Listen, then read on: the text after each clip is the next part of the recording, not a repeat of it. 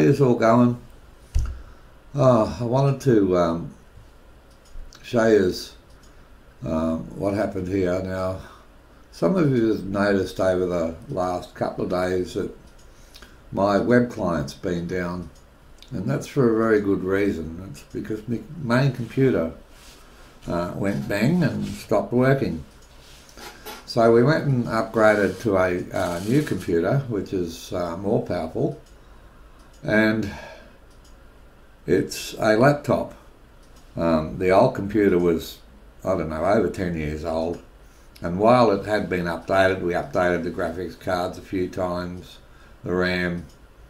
It was big and it was power hungry, extremely power hungry.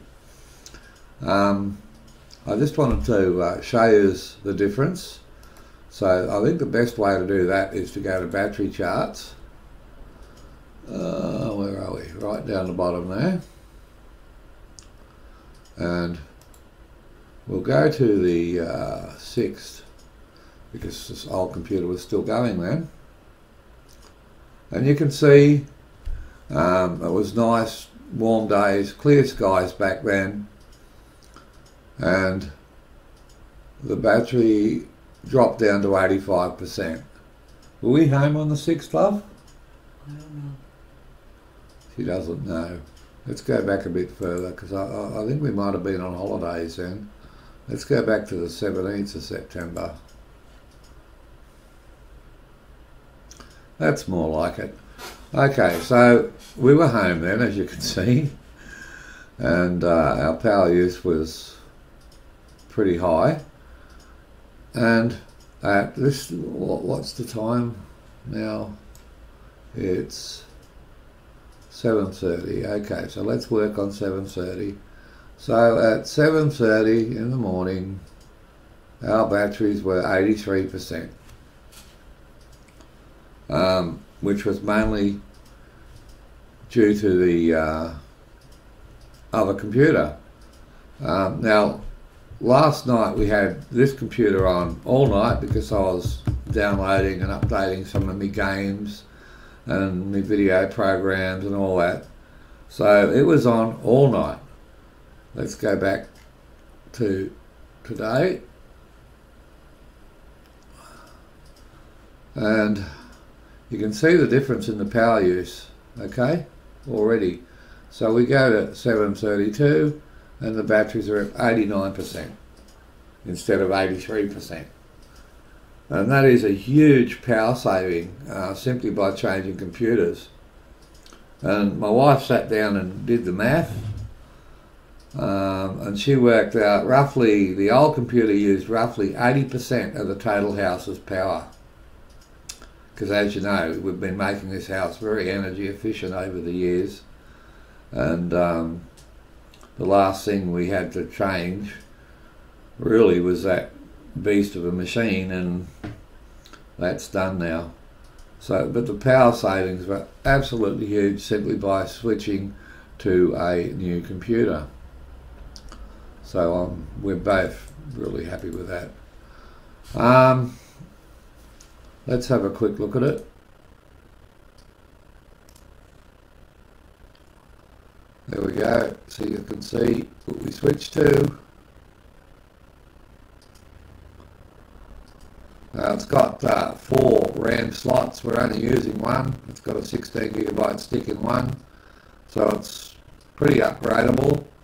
Uh, it's got a um, an SSD 250 gigabyte main um, hard drive, and then it's got a standard one terabyte hard drive in it as well. So it's it's awesome. We're, very happy with it very happy with it because that's my server there. But yes, we're, we're very, very, very happy with it. All right, so um, I made the outside bit before.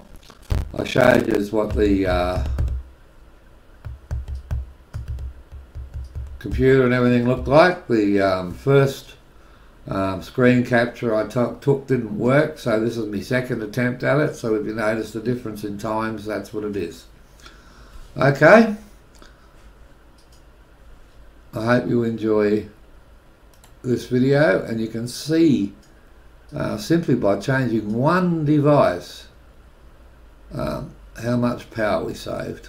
Okay, so that's the uh, old computer screen back there, uh, one of them.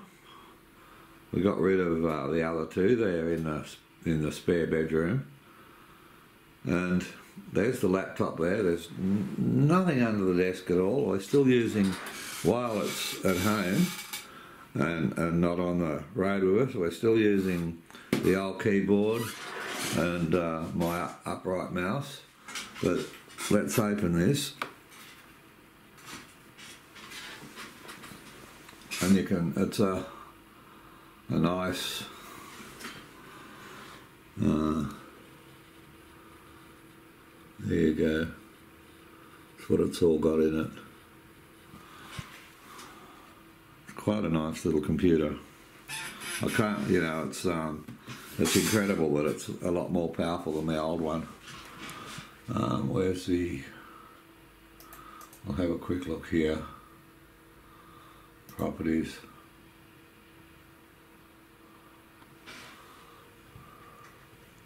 That's what we're using.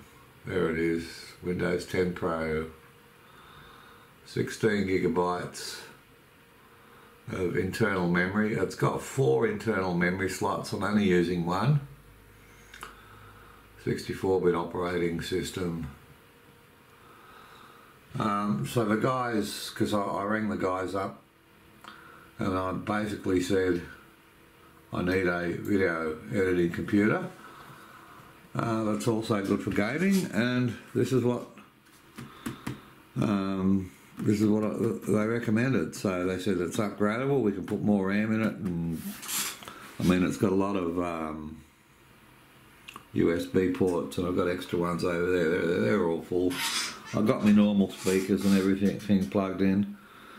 Basically. Um, it, it works faster, takes up less room, and hardly uses, uses any power, as you can see by the power charts. Okay, let's quickly go outside and have a look at the uh, weather. Excuse the video for a minute. There's the old computer sitting there. I've um, I've got to pull it all, all apart, get my hard drives out of there, and uh, recover the gear. As you can see, it's pretty dark out here. There's uh, the clouds are moving in. Like I say, we're expecting thunderstorms, and that's the way it's coming from through there. It's sort of sliding across from that way across towards the house. So I wish it was. I wish this this this lot was coming this way because that looks more bluer. Yeah. Yeah. So that made a huge change. So um, that, I think that was the last power hungry thing in the house that needed changing. Have a little update to the video uh, before I produce it. The hot water system's just turned on, the electric hot water system outside. Now um, you remember the power use with the electric hot water system was um, just over a thousand watts up and down. And now with the hot water system on, my computer on, my wife's computer on, just normal uh, daytime power, you can see the time up there, up there, uh, is 9, 17 minutes past 9 in the morning.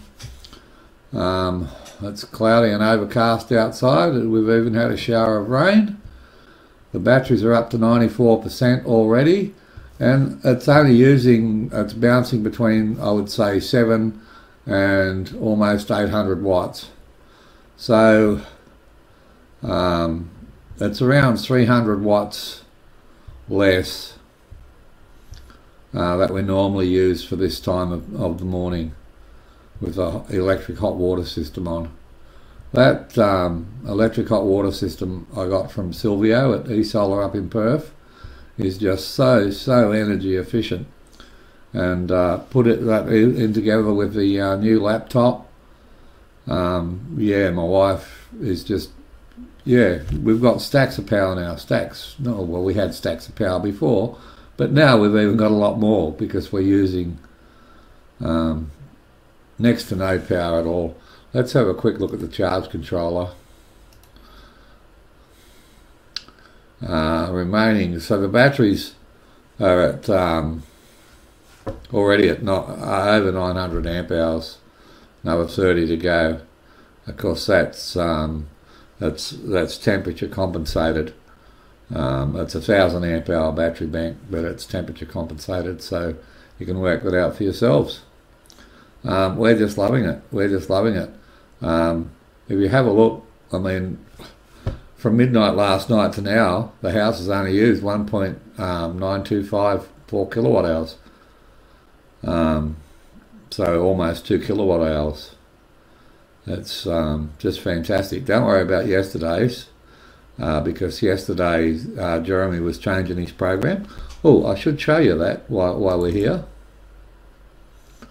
Um, the, the, he's changed the look of it and he's changed uh, a few things about it. Um, but what, what you can do now is you can run a manual local backup uh, or run a manual remote backup that backs up onto to, uh, the server. So if um, your computer crashes or dies, like my big big one did just recently, um, you can save all of your settings uh, for your AC/DC power monitor on uh, the server or or on your own computer, which yeah, or your own server if you have one. And when you uh, reinstall the program, you can just run your backup, and it will put all the settings back to where they were before the crash. Bloody good job, Jeremy. Good job. Alright, so that's going to round up the video. Um, I hope you found it informative. Keep safe, everybody, hey? Bye for now.